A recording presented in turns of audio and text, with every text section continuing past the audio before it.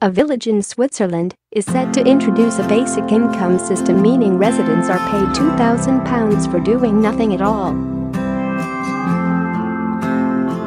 Residents of Rheinau, near the border with Germany, voted in favor of introducing the ambitious project in a recent ballot.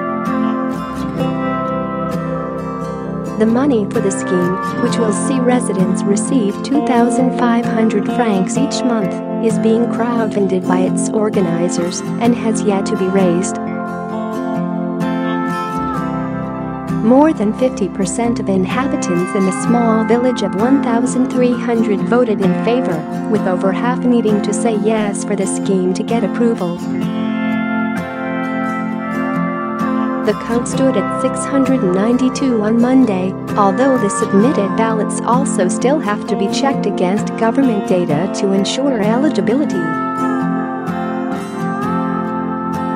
The decision comes two years after a proposal for a nationwide unconditional state stipend in Switzerland failed to pass in a national vote. Filmmaker Rebecca Panian is running the basic income trial and plans to document its results on the small screen. She says she became fascinated by the notion during the national debate before up the 2016 vote, decided to select a village as a guinea pig and make a documentary. share this article share earnings and social benefits would count against the payment, which will have to be raised from private sources rather than the government. Given the cost of living in Switzerland, the sum of 2,500 francs isn't very large. An entry-level grocery store cashier in the city of Basel working 42 hours per week is entitled to about 3,500 francs a month. While the idea of paying people money no strings attached has been around for more than a century, it has gained some traction in recent years due to concerns in major economies about rising inequality and jobs losses due to automation.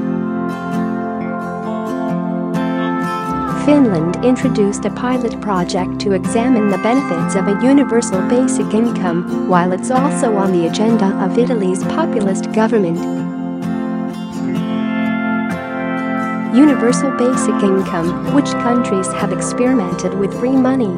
Finland, the Scandinavian country introduced a pioneering pilot scheme to test whether basic income could work.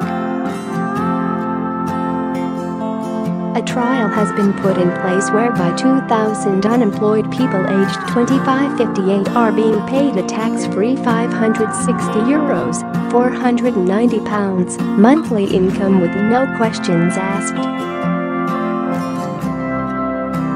It was forced to deny in April this year that the experiment had failed already. The trial is set to continue until the end of 2018, when a report will be published on the findings. Canada, the Ontario Provincial Government launched a three-year basic income pilot in July 2017. Initial reports indicated difficulties in finding and receiving applications from eligible individuals and households. The scheme was eventually cancelled in July this year after a lack of interest was shown. Switzerland, the world's first universal basic income referendum was rejected in Switzerland on 5 June 2016 was rejected with a 76 9% majority. Since then an independent scheme has got the go-ahead in the small town of Rheinau who are planning on testing the benefits. A petition was set up in late 2015 to bring a debate about universal basic income up for discussion in Parliament.